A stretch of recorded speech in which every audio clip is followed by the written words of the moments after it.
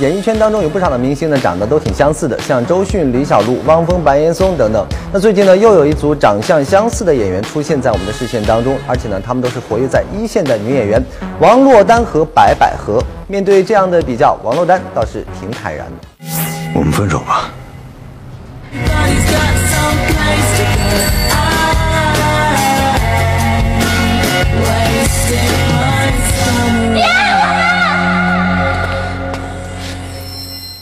日前，王珞丹为她主演的新戏《我爱的是你爱我》做宣传。巧合的是，这部戏无论是宣传团队还是电影上映的时间，都和两年前《失恋三十三天》一模一样，这难免让人把王珞丹和白百合进行比较。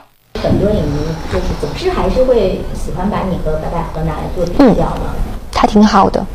前两天还特别逗，我们电影要上，然后官博发了一个微博，然后下面就有人留言说：“你不会又得癌症死了吧？”然后我当时我就傻了，所以可能到现在还有很多人都会觉得他的片子是我演的，我也觉得好尴尬。但是我觉得这个还是需要给他时间吧。对，有没有想过怎么去避免这种尴尬？我没办法避免别人像我呀，这是我怎么能避免呢？我只能避免我做我自己就好了。显然，面对和白百合的比较，王珞丹不以为然。不过，随着近两年白百合人气不断高涨，戏约也是一步接着一步，无论是从数量上还是曝光度上，都明显超过了王珞丹。而在观众眼中，二人的风格形象都十分相似。然后有没有觉得就是他的出现非常换马什么的？我这钱没少赚，戏没少接，我不知道该怎么去形容大家的那个那个感觉。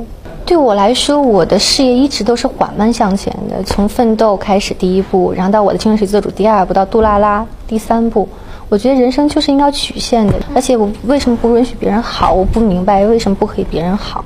那你看到，比如说像他这样子的，可能也会心里有点小小的羡慕、嫉妒、恨的。不会，我太知道我自己存在的价值了。妮妮。